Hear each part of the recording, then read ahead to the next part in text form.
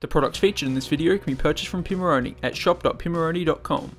Hi, it's Nick from Hobby Electronics and in this Raspberry Pi video I'll be showing you how to get started with the DisplayOTron hat for the Raspberry Pi. The DisplayOTron hat for the Raspberry Pi features a 16x3 character LCD display with a 6 zone RGB backlight. The board also features 6 capacitive touch buttons. These are ideal for navigating on-screen menus or importing data.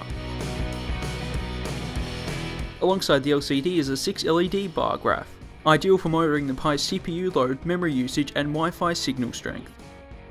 To get started with the DisplayOTron hat you'll be needing a Raspberry Pi, an SD card with a Raspbian Wheezy image installed on it, a suitable USB power supply for the Pi, and a connection to a network with internet access.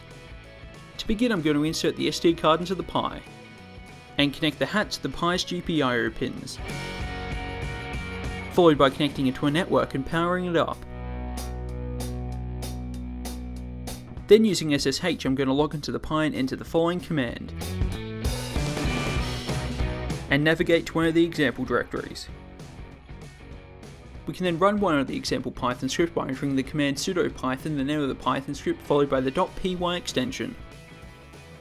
For more information on the DisplayOTron visit the product page on the Pimoroni website.